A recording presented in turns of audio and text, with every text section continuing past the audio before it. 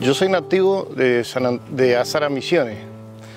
Vine acá en el año 80 a San Antonio Este y en el cual me quedé viviendo. Salí a navegar desde acá, de San Antonio Este, desde el puerto del Este. Eh, partimos al encuentro con otras embarcaciones que venían de Mar del Plata y de Buenos Aires y navegamos hasta Punta Quilla, Santa Cruz y de ahí, bueno, ahí estuvimos saliendo a identificar unos barcos, volvíamos, nos dieron la orden de salir a Malvina, no me acuerdo bien la fecha, pero y estábamos navegando hacia Malvina eh, bajo órdenes de Marina. Y eh, un aviso, un helicóptero nos dio que estábamos cerca de un punto donde estaba un barco perdido, el Sodral.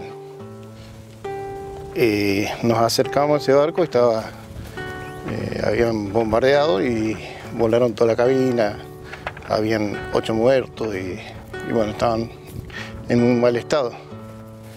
Bueno, eh, a través de ese rescate volvimos al continente, a, otro puerto más al norte, que era Puerto Deseado. Eh, bueno, ahí quedamos un buen tiempo haciendo bajo la orden de Marina.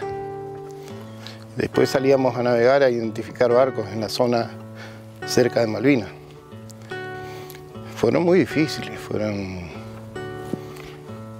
como de explicártelo, mucha tensión, mucho nerviosismo. Nosotros estábamos en una embarcación muy pequeña y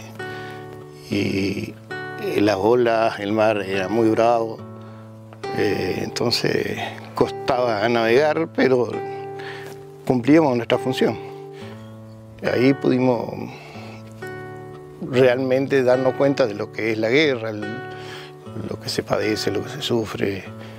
Habían muchos heridos, había gente que no comía durante unos días o comían muy mal tenían poca agua dulce, la verdad que estaban sufriendo mucho. Y espero que, la historia nos escriba en una página, que, que seamos parte de la historia de nuestro país. Y bueno, que los chicos conozcan lo que, lo que es nuestro territorio, que la Malvinas no, nos corresponden a nosotros por distancia, por historia, por, por la guerra. Muchas gracias, Víctor. No, por favor.